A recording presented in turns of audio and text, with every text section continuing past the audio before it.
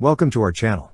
Don't forget to subscribe and put likes, because your support is important for us. And here we go. The Lazar 2, an 8x8 multi-role military vehicle crafted by the Complex Battle System factory in Velika Plana and owned by Yugoimport, SDPR, strides forth as a testament to modern armored prowess. First unveiled to the public eye in 2013, it draws its name from Serbian Prince Lazar, a figure of valor who led the Serbian army in the 14th century. Originally conceived to meet the potential demands of the Serbian army, this formidable armored vehicle has also garnered interest from foreign markets, with Pakistan already securing an order for three Lazar 2 units. The precursor to the Lazar 2, the Lazar 1, epitomized a fusion between a mine-protected vehicle and an armored personnel carrier.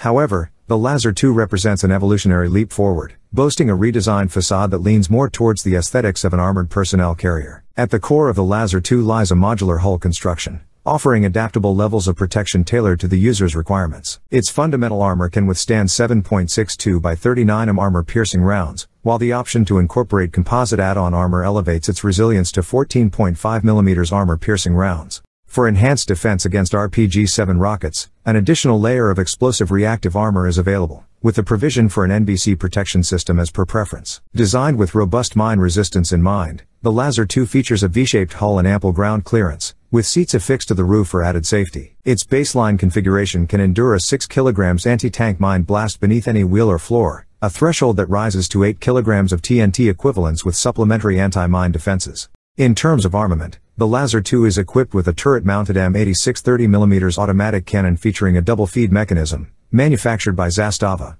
Complementing this firepower is a 7.62mm machine gun, while the option exists to outfit the vehicle with upgraded Malyutka, 2T and 2F, anti-tank guided missiles. The inclusion of smoke grenade dischargers and advanced sighting systems further enhances its combat capabilities, with adaptability for various weapon turret configurations to suit diverse mission objectives. Internally, the Lazar 2 accommodates a crew of three alongside nine troops, facilitating swift ingress and egress through a rear ramp and dual emergency doors. Its design incorporates five bulletproof windows, firing ports on each side, and a near 360 degrees field of vision for the driver via fitted cameras, ensuring optimal situational awareness during operations. Propelled by a Cummins ISM 500 engine generating 500 horsepower, the Lazar 2 exhibits remarkable mobility across diverse terrains, with its suspension system and central tire inflation ensuring stability and endurance. Notably, it integrates automotive components from Russian KAMAZ military trucks, building upon the lineage of its predecessor, which utilized elements from the TAM 150 truck. Versatility lies at the heart of the Lazar 2,